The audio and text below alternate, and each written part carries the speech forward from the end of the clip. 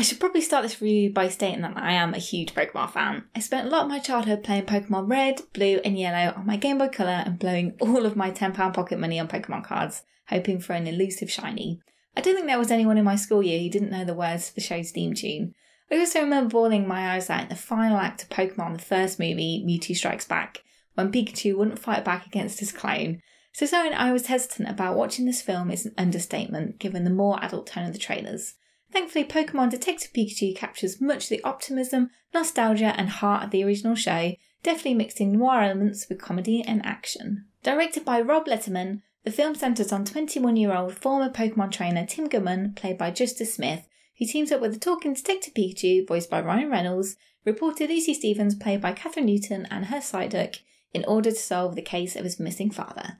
At first, the plot seems pretty simple. A guy who doesn't want a Pokemon buddy has to team up with one to find his dad.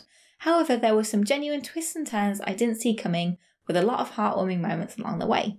After watching the trailers, I didn't think Ryan Reynolds would work as the voice of Pikachu. He's pretty much become Deadpool to me, but surprisingly, he really pulled it off. He softened his tone and came across a lot less sarcastic than Reynolds we've come to know. However, there were a few moments where you couldn't help but think of him, which does take you out of the moment somewhat. The main heart of the film, however, was the central pairing of Reynolds and Justice Smith, with the two developing a strong chemistry as their bond developed throughout the film.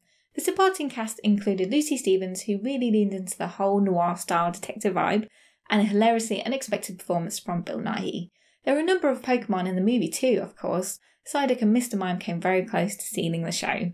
Visually, I was genuinely surprised by how well the live action adaptation worked successfully bringing to life the many different characters from my childhood in a number of different environments. The animated characters blended naturally into the urban cityscapes of Ryme City, with Squirtles working the fire department, Growlithe as the police dogs, and Machamps coming in useful as they directed traffic. I also really enjoyed the noir style aspects of the film, including Harry's apartment filled with case files, the dive bar featuring Jigglypuff singing karaoke, and the underground battles, as well as a nice callback to the games with the main villain being located at the top of a skyscraper. The Pokemon themselves are much more photorealistic compared to their animated counterparts, with impressive textures and lighting. The amount of detailing in Detective Pikachu's fur was genuinely impressive and was very successful since he was utterly adorable. There were also some breathtaking scenes featuring Pokemon in natural habitat, seeing wild Bulbasaurs was a particular highlight for me. Overall, I had so much fun with Pokemon Detective Pikachu. The film was smart, humorous, and stylish outing, which I didn't know I needed in my life. It was a very different take on the subject matter than we've previously seen, but ultimately proved to really pay off, hopefully opening the door to more films set in this universe.